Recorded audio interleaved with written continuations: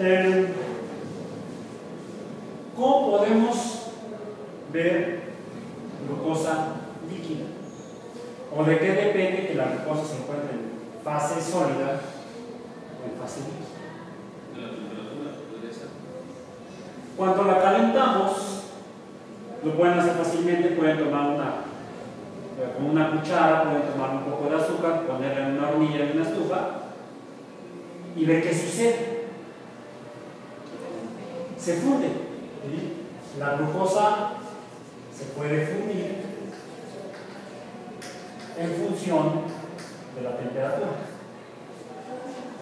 Bien, y pasamos a glucosa líquida.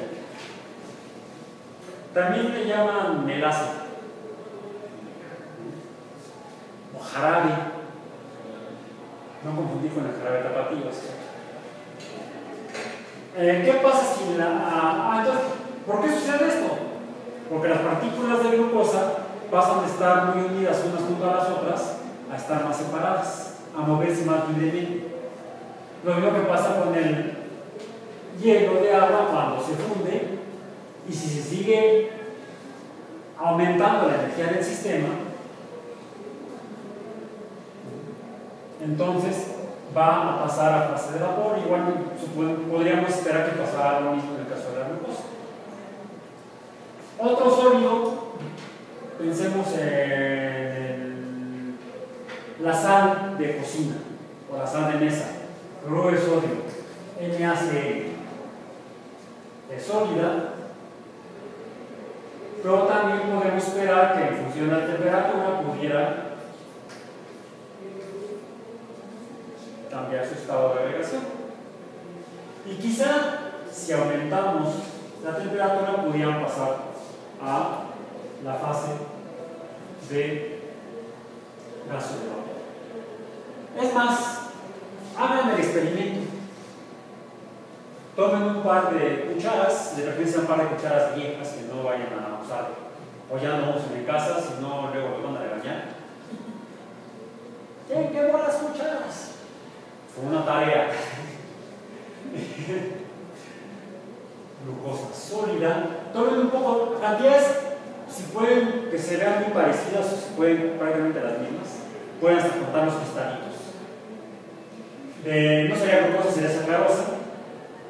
De sacarosa y de cloruro de sodio.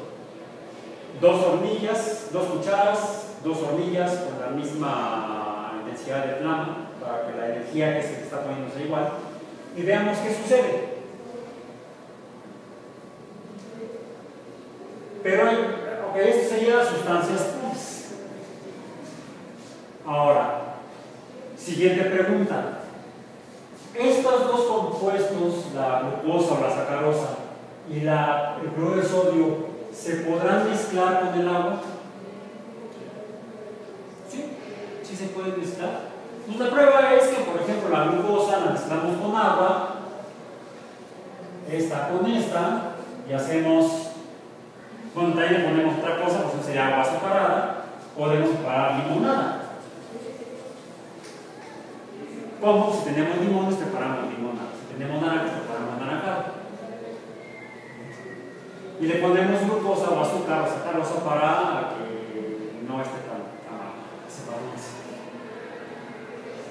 Cloruro de sodio y agua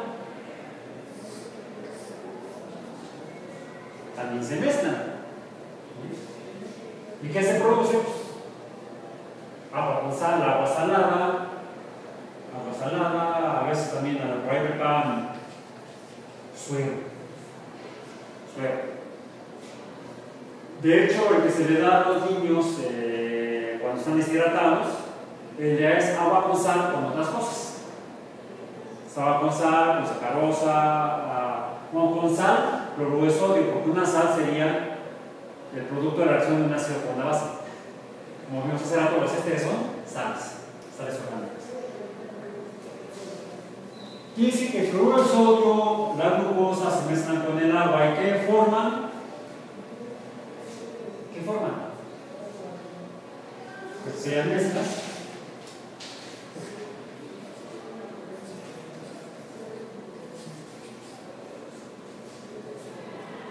¿Y alguien diría soluciones?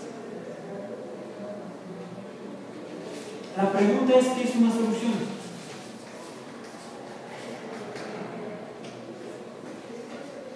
¿Qué es una solución?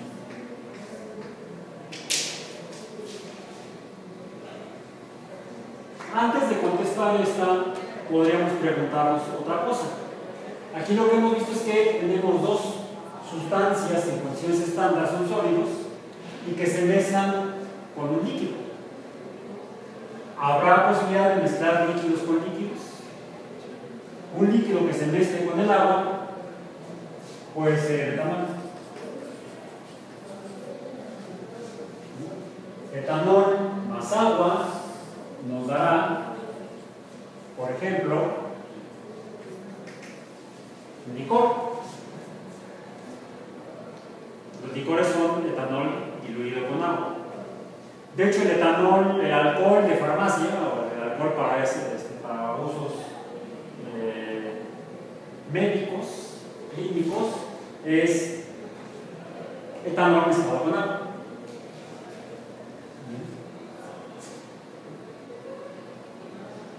¿Se podrán mezclar gases con líquidos?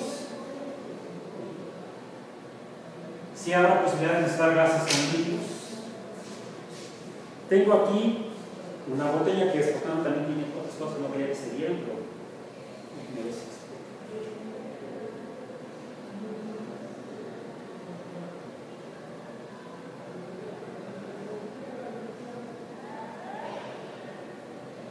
es una botella que tiene un líquido en el interior. ¿Qué líquido será?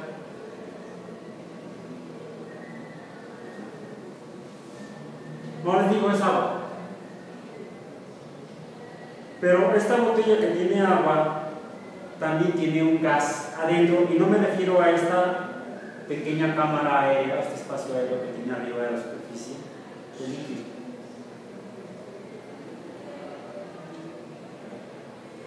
¿Cómo sé que esto tiene un gas ahí adentro?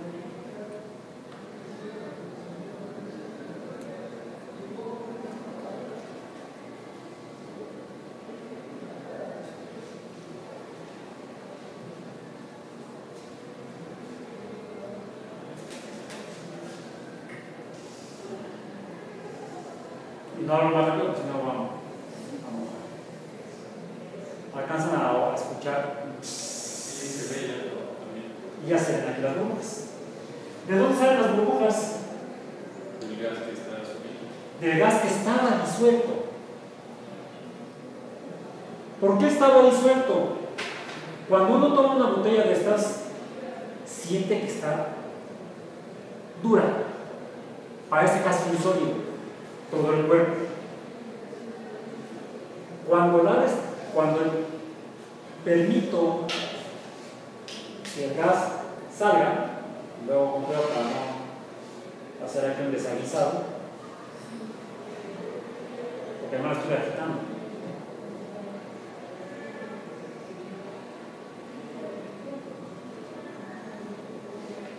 Ahora lo que hay aquí es atmósfera, aire atmosférico. ¿Cuál es la fuerza que ejerce ese aire sobre los cuerpos? Puede ser mi cuerpo, el cuerpo del pizarrón, o el cuerpo, este cuerpo de agua, este cuerpo líquido. Presión de una atmósfera. Es la fuerza de la presión de una atmósfera.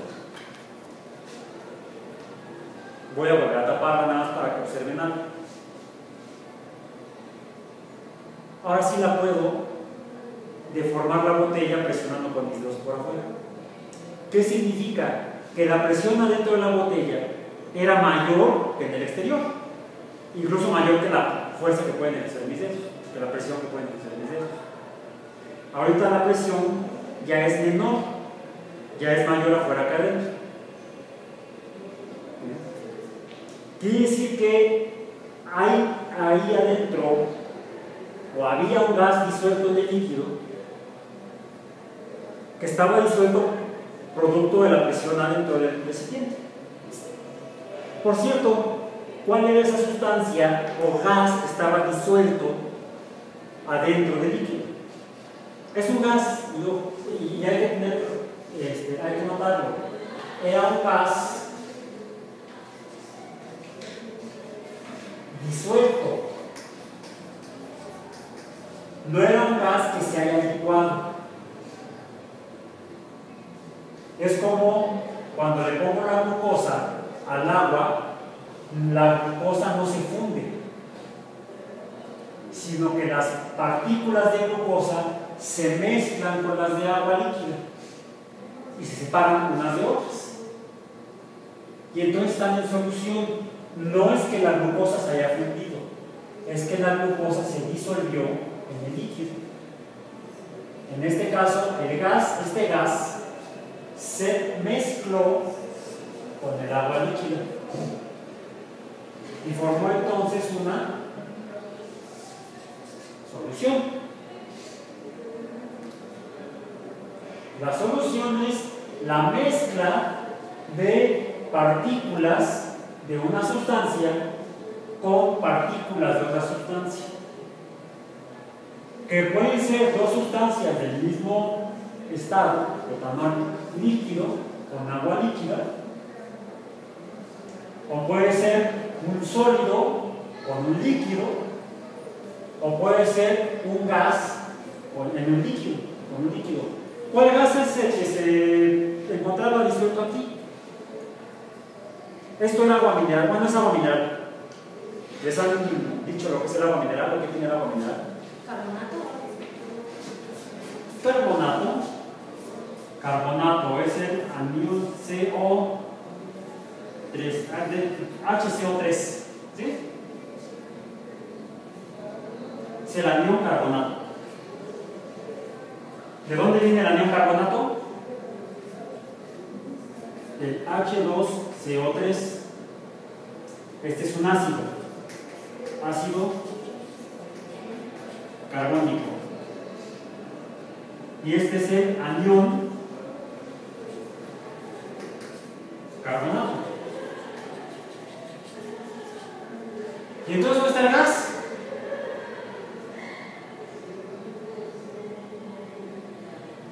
¿Cuál es el gas? El anión carbonato, a vez, se puede descomponer. De hecho, estos, estos dos, en anión bicar, este, este, este o carbonato monobásico, porque tiene una carga negativa. Puede quedar como, perdón, no, eso, como CO3 sin el otro hidrógeno o protón. Quedaría entonces como anión divalente o anión, anión, anión carbonato básico.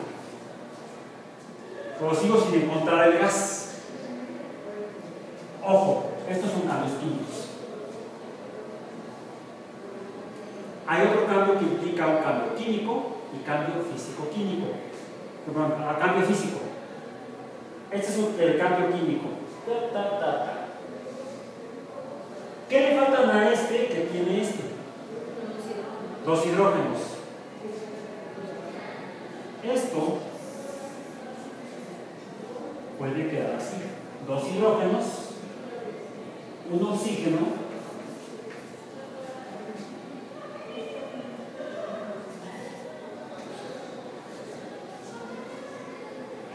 dióxido de carbono gaseoso y agua líquida, lo que hay aquí. Solo que el dióxido de carbono reacciona con el agua y forma ácido carbónico. Por eso es que el- la acidez o el pH del agua mineral es mucho menor que el pH del agua eh, del agua sin, sin bicarbonato. ¿Sí?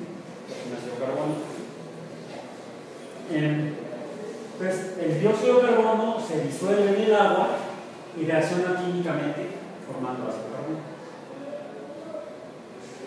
Pero es una reacción que además depende de la presión. Cuando disminuye la presión en el sistema,